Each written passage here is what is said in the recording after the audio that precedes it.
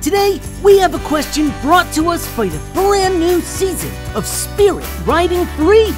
What's the difference between horses and ponies? Let's find out on today's episode of Colossal Question. Horses and ponies are actually members of the same species, Equus caballus, which is probably no surprise. After all, they do look quite similar.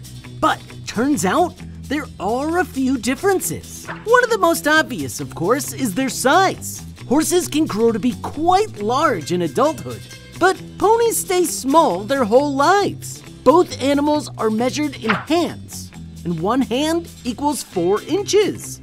Fully grown horses can be as small as six hands.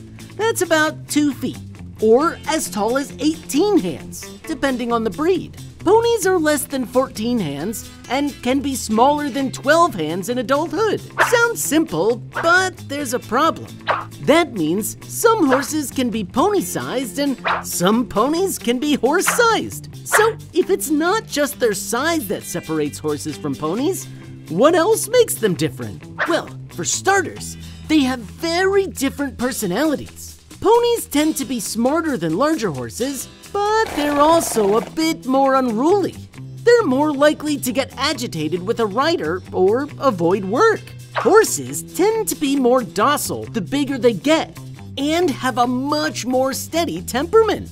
They're also less likely to act out or try and throw someone off their back. In other words, horses tend to be a bit more loyal. Most horses can carry much bigger loads than ponies, but that's only because they're bigger. Ponies are actually stronger relative to their size. Ponies also tend to have much thicker coats, manes, and tails. Their hooves are tougher, and they have heavier bones.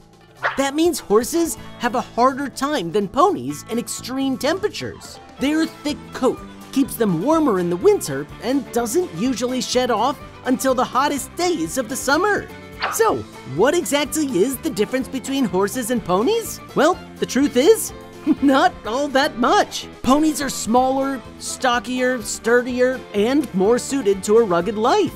And what horses lack in thick bones or thicker hair, they more than make up for in dependability and loyalty. After all, there's a reason people tend to befriend horses more than ponies. Well, there you have it. Horses and ponies really aren't all that different after all.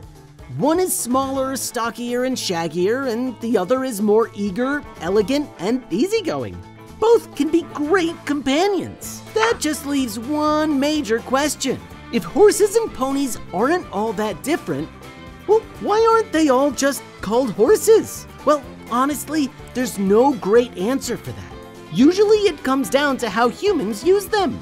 Pony breeds are seen as small, strong, and stocky, while horse breeds are considered tall, tame, and trainable. A miniature horse might technically be smaller than a pony, but it looks like a horse and acts like a horse, so they call it a horse. So, whether you're riding high up on a horse or practicing prancing with a pony, they're all equines in the end. So, saddle up and don't forget the treats.